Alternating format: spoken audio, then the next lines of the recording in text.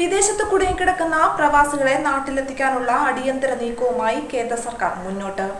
ഇതിന്റെ ഭാഗമായി ഗൾഫിൽ നിന്നെത്തുന്നവരുടെ പേരുവിവരങ്ങൾ തദ്ദേശ സ്ഥാപനങ്ങൾ ശേഖരിച്ചു തുടങ്ങി. ആഗോളതലത്തിൽ തന്നെ കൊറോണ വൈറസ് രോഗം പടർന്നു പിടിക്കുന്ന സാഹചര്യത്തിൽ രാജ്യത്തിനകത്തും പുറത്തേക്കുമുള്ള വിമാന സർവീസുകളെല്ലാം തന്നെ നിർത്തിവച്ചിരിക്കുകയാണ്. ഇതോടെ പ്രവാസികളെല്ലാം അതാത് രാജ്യങ്ങളിൽ കുടുങ്ങിക്കിടക്കുകയാണ്. ഇവരെ തിരിച്ചെത്തിക്കാനുള്ള നീക്കത്തിലാണ് ഇപ്പോൾ കേന്ദ്ര സർക്കാർ.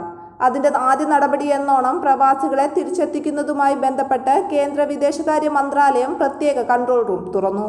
പ്രത്യേക വിമാനത്തിലാകും ഇവരെ വീടുകളിലേക്ക് തിരികെ എത്തിക്കുന്നത്.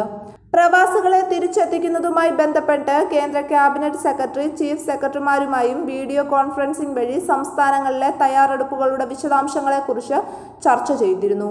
ഇതിനായുള്ള എല്ലാ സജ്ജീകരണങ്ങളും തയ്യാറാക്കുന്നതിന് ചീഫ് സെക്രട്ടറിമാർക്ക് നിർദ്ദേശം നൽകിയിട്ടുണ്ട്. കൂടാതെ മടങ്ങാൻ ആഗ്രഹിക്കുന്ന പ്രവാസികൾക്കായി നോർക്ക രജിസ്ട്രേഷൻ ഉടൻ ആരംഭിക്കും. ഗർഭിണികൾ കൊറോണ ഒഴികെയുള്ള രോഗങ്ങൾ കൊണ്ട് വലയുന്നവർ വിസ കാലാവധി കഴിഞ്ഞവർ സന്ദർശക വിസയിലെത്തി കുടുങ്ങിപ്പോയവർ വിദ്യാർത്ഥികൾ എന്നിവർക്കാണ് ആദ്യ പരിഗണന. W W W dot Norka roots dot O R G എന്ന വെബ്സൈറ്റിലാണ് രജിസ്റ്റർ ചെയ്യേണ്ടത്.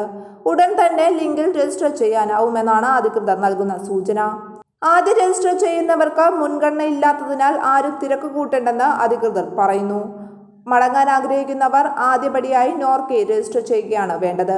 ഒപ്പം കോവിഡ് നെഗറ്റീവ് ആണെന്ന സർട്ടിഫിക്കറ്റും ഹാജരാക്കണം. സർക്കാർ എല്ലാവിധ സൗകര്യങ്ങളും മടങ്ങി വരുന്ന പ്രവാസികൾക്കായി ഒരുക്കിയിട്ടുണ്ട്.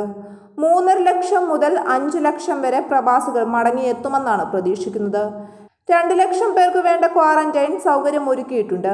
നിരീക്ഷണത്തിന് ശേഷമായിരിക്കും ഇവരെ വീടുകളിലേക്ക് വിടുന്നത്. അതേസമയം വിദേശത്ത് വെച്ച് മരണപ്പെടുന്നവരുടെ മൃതദേഹങ്ങൾ നാട്ടിലെത്തിക്കാൻ കേന്ദ്ര സർക്കാർ അനുമതി നൽകിയിട്ടുണ്ട്. ഇത് സംബന്ധിച്ചുള്ള പുതിയ ഉത്തരവ് കേന്ദ്ര സർക്കാർ പുറത്തിറക്കിയിട്ടുണ്ട്.